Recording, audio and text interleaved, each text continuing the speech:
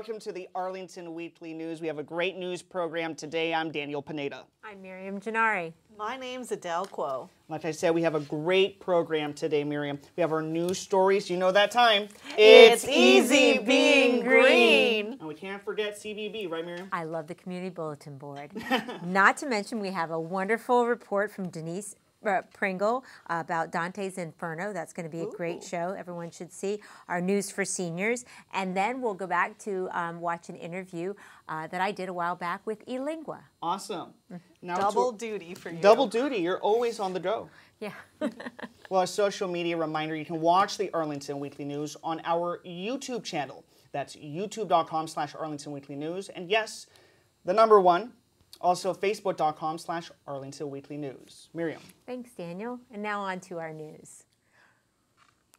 There's been several robberies around the county, including some armed robberies. On Sunday, October 10th, there were two incidents one in Buckingham Village, where a suspect held a weapon, and another in Ballston. There were two more Sunday afternoon in the 300 block of North Glebe near hmm. Buckingham Village and North Moore Street in downtown Rosslyn. There was another one close to midnight that same day, also near Buckingham Village. If you find yourself in an emergency situation, be sure to dial 911. If you see anything suspicious or have any information about these incidents or any others, you can file a police report at police.arlingtonva.us. Good advice. Daniel? Great advice, Miriam. Well, now to our next story for tonight. The third Indie Capital Awards event was held this past Sunday at the Angelika Film Mosaic in Fairfax. The ceremony took place before a full house, and Arlington Community Television had two winners. Rhonda Mendoza's Rendezvous won for Best Narrative Short, and Kevin Sampson's Picture Lock Show won the Best Innovative Media. Congratulations goes to all of the winners and nominees. Absolutely. Congratulations, Kevin Sampson. Kevin Sampson. Picture lock. All right. And Arlington Economic Development has opened registration for the second annual U.S. China Entrepreneurship Competition. The competition is for companies that want to expand globally. The winner for the U.S. will win $5,000 in cash, meetings with prospective Chinese investors, and $1,500 travel stipend, along with food and accom- accommodations and expenses paid. To compete for this international level competition in Beijing, you have to win here first. The application deadline is soon. It's October 13th. Visit arlingtoneconomicdevelopment.com for more details. Who knows? I have ideas. Yeah, you have some great ideas, right?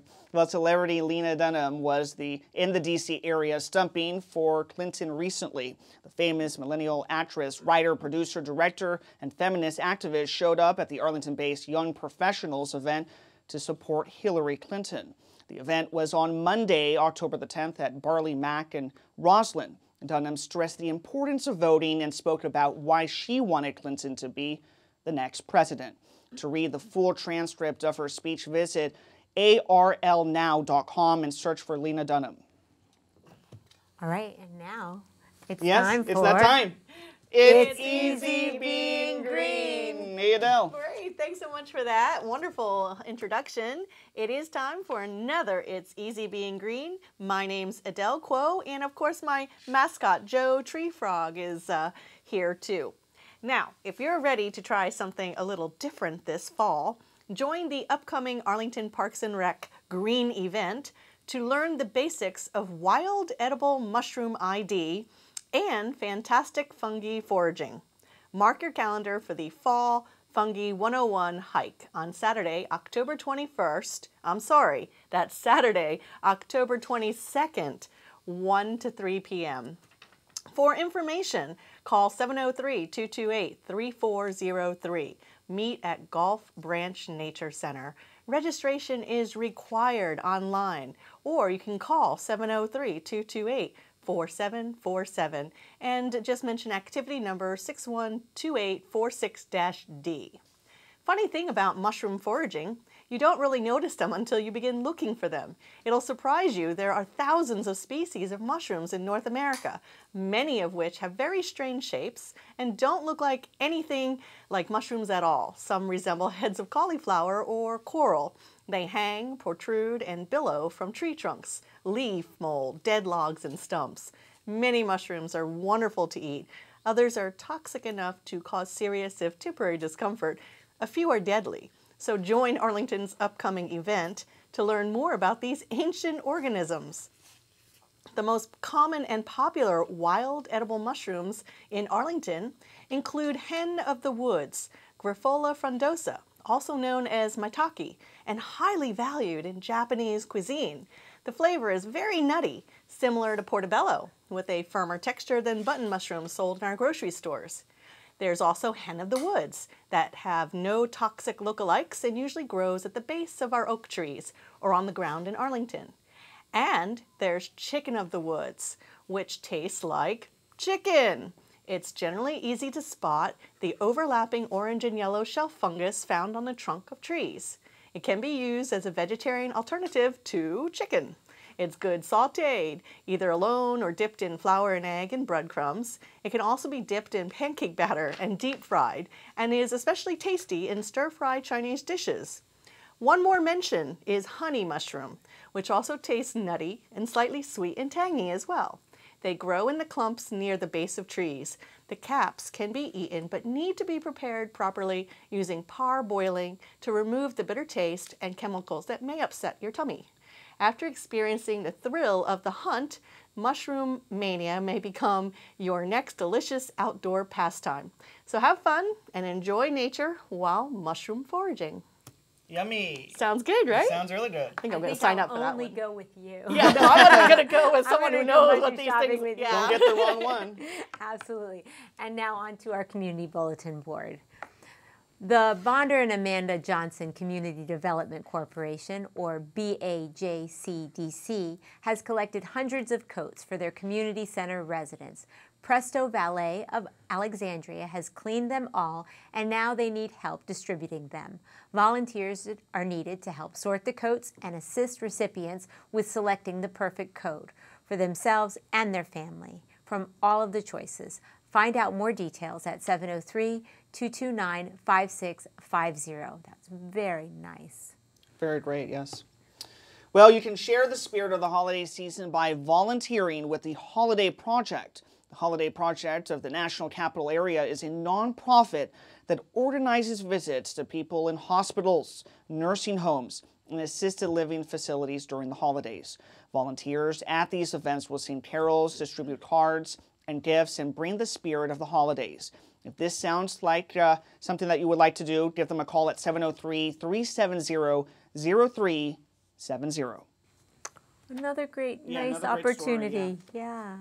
Well, under the direction of the PRS Crisis Linked Text Line Supervisor, a volunteer is needed. The Volunteer Crisis Text Connect Counselor will use active listening and provide online emotional support to confidential users who are in crisis via text or chat platforms. The Volunteer Crisis Text Connect counselor will provide one four hour shift per week for one year after successful completion of training.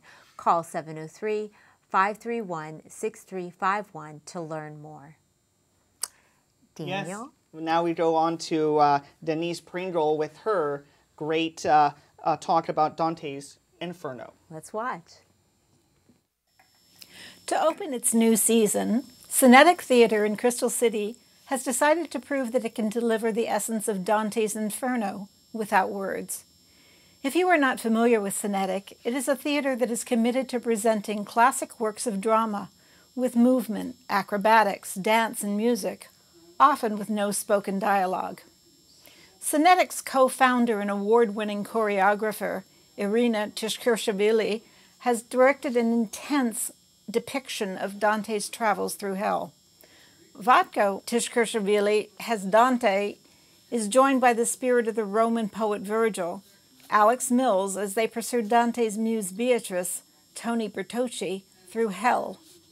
The circles are inhabited by the condemned suffering souls, and Lucifer and the various demons who torture them endlessly for the various sins they committed while on earth. For centuries, the words of Dante have defined the horrors of hell, with its nine distinct rings inhabited by the different categories of sinners, who must reap the tortures befitting their distinct crimes against humanity. Now, the artistic staff at Synetic has translated his words into a visual concept of the torturous existence for these damned souls. The greedy writhe as the demons force feed them. The hypocrites must bear the crosses they betrayed in life. The wrathful are caught up in a never ending loop of violence and killing. Incredibly, the brilliant and imaginative choreography does justice to the epic work that is still studied by academics 700 years after it was written. The set is minimal, dismal, dark, and smoky. Its geometric shapes offer a backdrop that is as bleak as the suffering it hosts. The smoke is evocative, and closer examination reveals that the flames are actually the hands of the souls under intense red lighting. If you have yet to see Synetic present a classic work in their own unique styling, I highly recommend this production. If you were impressed by the Olympic athletes and their short routines this summer, come see the grueling routines these actors can sustain for 100 minutes. Just watching Vato as Dante and his jumps and backflips as he battles the demons should count as a workout. Dante's journey through hell continues at Synetic Theater through October 30th. I'm Denise Pringle, filling in for Rich Massabny. Now back to the news desk. Thank Great. you so much. Yeah. Yeah, absolutely. I definitely want to see it. Yeah. All right. Well, now that we're done with Denise, we'll move on to our news for seniors. How would you like some decorated seasonal pumpkins to brighten up your doorstep? You can learn how to make it happen on Thursday, October 20th at the Lee Community and Senior Center. Park at 5722 Lee Highway in Arlington. The event lasts 11:30 a.m. to 1:30 p.m. You'll need to bring your own pumpkin. I guess that's BYOP. But all other materials will be provided. They recommend that your pumpkin is about the size of a grapefruit. I don't know why, but I wouldn't argue. For more information, call Adriana Carr at 703 228 0555. Never go to argue. Never go to argue, no. Not at all. well, maybe seasonal pumpkins aren't your style, or maybe your house is already full of them. If that's the case, you may want to check out the Storyteller Hour at the Arlington Mill Community and Senior Center, which is located at 909 South Dinwiddie Street in Arlington. They say that riveting stories can transport and engage. The event starts at noon on Thursday, that's October the 20th, and finishes at 1 p.m. For this session, Johanna Wilner will speak about her experiences under Soviet occupation in Eastern Germany, her struggles, and her final escape to the West. Miss Wilner is the author of Christine, A Life in Germany After World War II. Participants are encouraged to bring their own lunch for more information, give uh, Jennifer Weber a call. That's at 703 228 7369. Thanks, Daniel. To discuss world events that have changed the course of history, join Professor Ralph Ostrich of Northern Virginia College and lecturer at George Mason University. It's a history discussion you don't want to miss. A history background is not necessary, just interest and a curious mind. The discussion will be at Culpeper Gardens on Thursday, October 20th from 1 to 2 p.m. Call 703 228 4403 and tell them that you're coming. Daniel? Yeah, you always have to let them know that you're coming, right? That's right. Space is limited. Well, come listen to our latest band playing root, rhythm, and yes, blues and bluegrass. It's a perfect way to start the week. This group meets on the second and fourth Monday of every month. They will play next at Lee Senior Center on October the 24th from 10:30 a.m. to 12:30 p.m. Give them a call as well at 703-228-0555 to reserve your seat. Miriam. And now for a Halloween spectacular. Bella and Marlowe are performing Jack Russell Terriers. You'll be amazed by their performance with their owner, Marion D'Angelo, in costume. Marion's Terriers will do tricks that amaze you.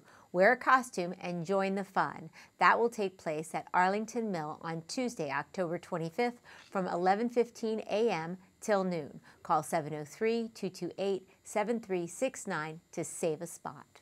Daniel? Well, Miriam, this old German celebration started in 1910 in the Bavarian part of Germany and is still being celebrated today. Six million people attend the festivities in Germany. But if you can't make it to Germany this time, join in the festivities at Culpeper Gardens. They will be offering German delights such as sausage, uh, uh, pretzels, with, and uh, with traditional German music. The band Blaskapelle Alt uh, Kameraden will be playing, and this will be taking place at Langston Brown Senior Center. That's on Wednesday, October the 26th, from 11:30 to 1 p.m. There will be a big, uh, there will be a fee that is of six dollars. A big crowd is expected, so you must call and register. The number is 703-228-6300. Those seniors have so much fun. Yeah, they're always having fun. Right?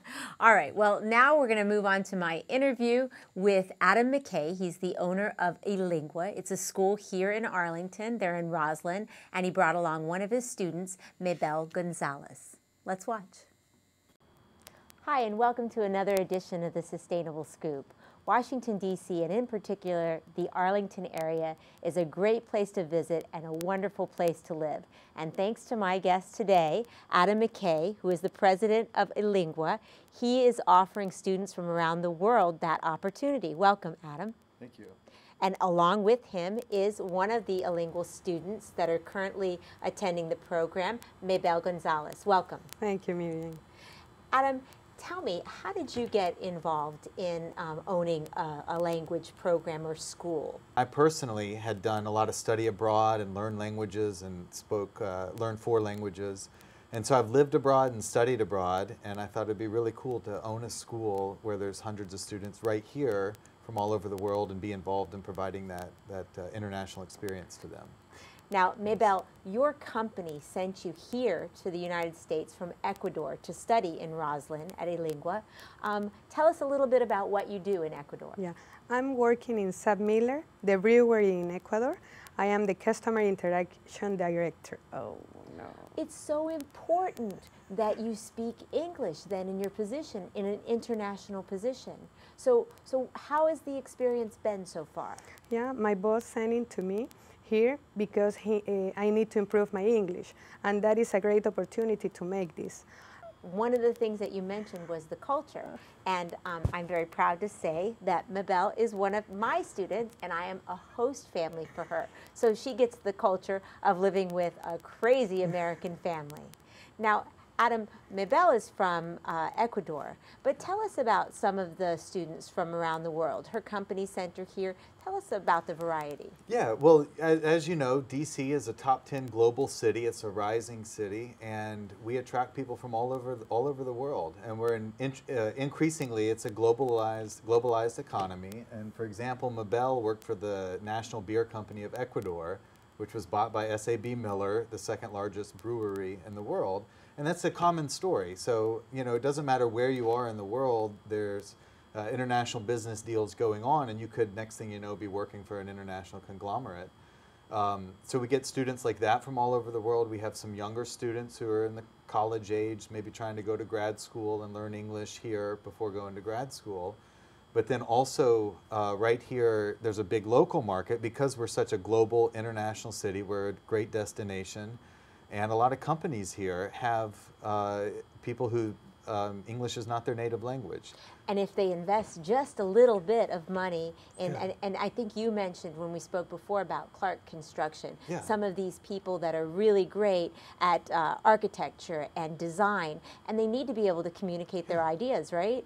Yeah, absolutely. Yeah, there's certainly a floor. It doesn't matter how intelligent or skilled you are. If you can't communicate, communication is such a key skill. There's a floor on your career growth, and and particularly in English, right? Yeah, absolutely. Yeah. Now, in addition to all of the learning that takes place in the classroom, your students have an opportunity to enjoy the sights and the sounds of Washington, D.C. Mabel, tell us some of the things that you've done since you've Oh, been I, here. I have been visit the monuments, the different museums, and of course shopping. Yes, Mabel has done her share of shopping. but I think that the interactions that you have, both at school, out in the public, taking the metro, actually learning the bike trails, is also a good opportunity. Yeah, it's a new experience for me. Yes. Totally a new experience. And, and for people who are looking for an opportunity to come to the school and learn English, how do you identify what level they're at and what kind of progress you can make in a, in a Yeah, short it's a, period it's of a fantastic question. So we have open enrollment at our school. So every Monday somebody can join, and the first thing we do is give them an assessment test. And it takes about an hour, and uh, it's a very good diagnostic test, and it tests all parts of language, reading, writing, speaking.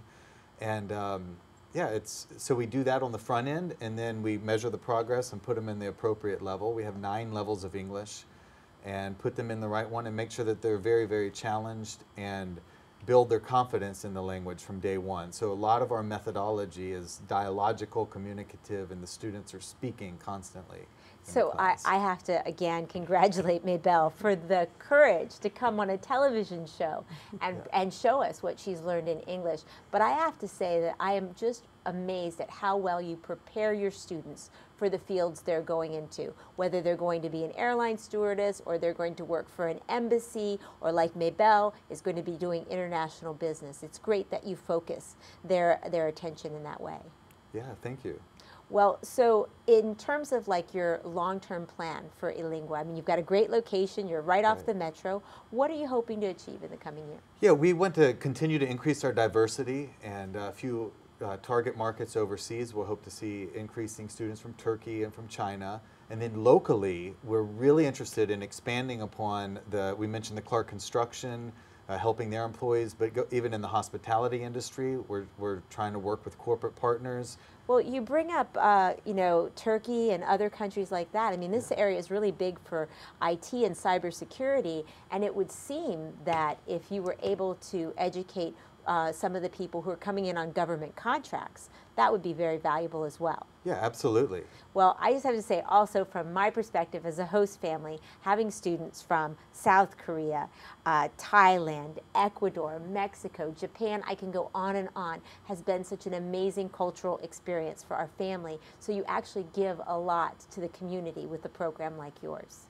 Very happy to be able to share the students with uh, host, host families in the area. I take excellent care of them. I well, now, do. how do they get in touch with you? Uh, they can go to our website. It's uh, inlinguaenglish.edu. So that's I N L I N G U A E N G L I S H dot E edu. Yes, and you can also use your voice recognition for alingua.com. Is that correct? Uh, inlinguadc.com. Oh, elinguadc.com for our radio viewers. Well, I want to thank you both for coming today. I really do uh, appreciate the work that you do, and I'm fascinated by it. When you have an open house, please let us know. we will. All right. And I want to thank you, viewers, for watching another edition of The Sustainable Scoop. I'm Miriam Gennari. Back to the news desk. Great interview. Thanks so much to Adam McKay, the uh, owner of Inlingua, and his student Mabel Gonzales. And after that interview aired, Yeah. SAB Miller, which is the company she worked for, um, became the largest international brewery company in the world. Yeah, so that's really International, right? interesting. I know, I know. I'm so happy for her. Sounds interesting. So, speaking of interesting, Adele, there are some fun things happening, but Yep. one in particular on Saturday. Saturday's got a lot of green events, and um, I'm looking forward to picking up a free pawpaw native tree. I didn't get the memo. Yeah, though I, you know, I talked about it I think a year ago. Okay. and every year there are these free. One residential household gets a free native tree. You do have to register for it, and you still can. I think it's tonight's the last night though. Okay. So, but on Saturday I'll be getting a free pawpaw tree. and do you know how they get those native trees? Exactly. Great question because I think you have to get the seeds collected. So there is an event coming up on Saturday to collect the seeds with the, uh, is it ACE or is it the Potomac Conservancy? Yes, they're, they're working together, but all the details are up on the website. They're on the That's a great family Exactly, event. And Danielle, exactly. are you going to be volunteering Absolutely. It this weekend? sounds like such a great event. You were telling me a little bit about it earlier. Great event, right? Well, including getting free trees, collecting seeds. There's always Mm-hmm. some fun um, Parks and Recs class that you can sign up. Don't forget the mushroom hike that I Oh, was the talking mushroom about. Yeah. hike. Let's go on the mushroom hike. Yeah, absolutely. It sounds like fun. Yeah, you'll learn a lot. Um, there's like a fall heritage festival if you like that kind of thing. I think the Renaissance Festival is going on Yeah, right see? now. So, So- there are a lot of great things Lots going of things going, uh, especially this month in October, right And- before Halloween. And the tennis courts are really busy. Yes, I'm ready for my match. Let's go. Let's, let's turn it on. Well, thank you so much for watching the Arlington Weekly News. We really appreciate it, and we'll see you next week. Bye bye.